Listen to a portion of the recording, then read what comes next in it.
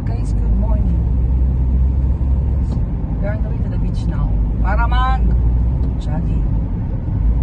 Masarap ang panahon kasi taglamig din po dito sa Dubai. Saan na ba tayo? Malapit na ba tayo? Ang ganda rito no? Talagang inayos nila.